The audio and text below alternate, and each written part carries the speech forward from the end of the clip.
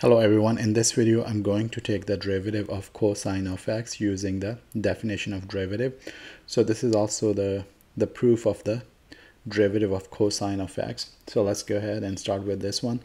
This is the definition of derivative right here. Limit as h goes to 0 of f of x plus h minus f of x over h. And this is our function y equals cosine of x. So I'm going to go ahead and plug this function into our the into our definition of derivative form. So we get limit as h goes to 0 of cosine of x plus h minus cosine of x over h. So when we plug in this cosine function into the definition of derivative, this is what we get. Now, I'm going to use the property of cosine of a plus b here to expand this. So we know that cosine of a plus b equals cosine of a times cosine of b minus sine of a times sine of b.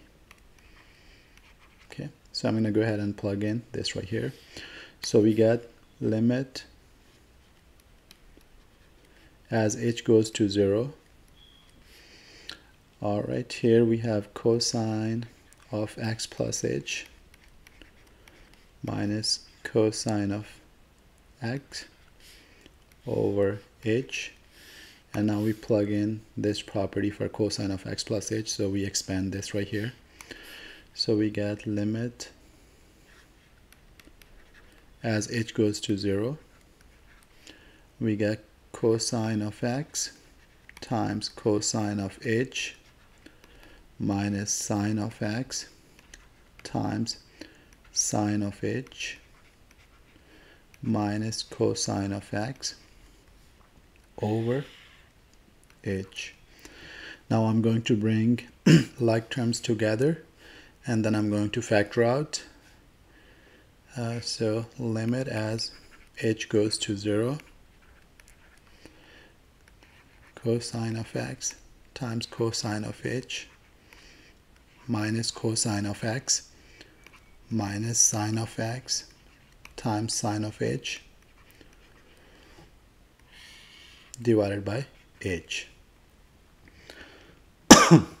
now I'm gonna go ahead and uh, factor out cosine of x from these two terms.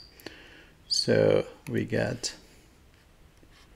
limit as h goes to 0. We factor out cosine of x. And so we get cosine of h minus 1 minus sine of x times sine of h everything divided by h.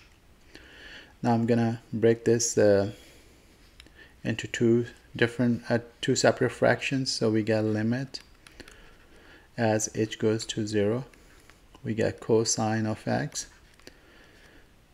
And we get cosine of h minus 1 over h minus sine of x times sine of h over h. Okay now I'm gonna rewrite it again in a little different form. So we get cosine of x times cosine of h minus 1 over h minus sine of x times sine of h over h now there are two properties, uh, trigonometric properties for the limits that we're going to apply here. One is 1 minus cosine of h over h limit as h goes to 0 equals 0 and the other one is limit as sine of h goes to 0 of sine of h over h equals 1. So here we have a cosine of h minus 1. So we're going to do a little manipulation to bring it into this form. so we know that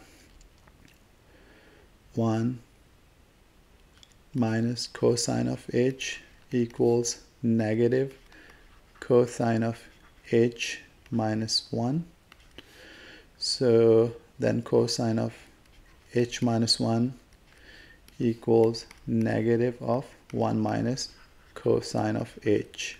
Okay so we can go ahead and make the substitution of negative times 1 minus cosine of h here. So we get limit as h goes to 0 sine of x and in parentheses for cosine of h minus 1 we're going to put this negative 1 minus cosine of h and it was divided by h right here minus sine of x times sine of h over h. So now we know from the trig properties that this is equal to 0 as h goes to 0 and this is equal to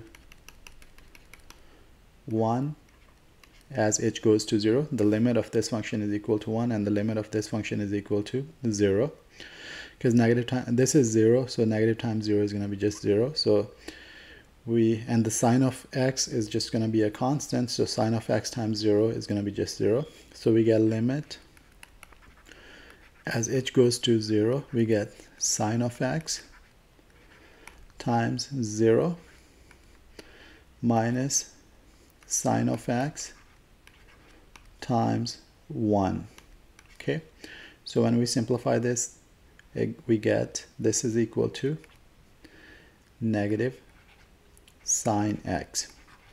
So the derivative of cosine x equals negative sine x. That's what we just proved. So this is the derivative of cosine x. All right, hopefully this helped. And um, if you like my video, please subscribe my channel. Thank you.